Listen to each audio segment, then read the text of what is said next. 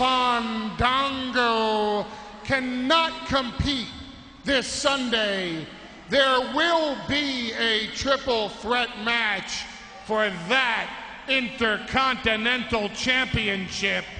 The perfect ending to the match this Sunday will be me, Curtis Axel, the new Intercontinental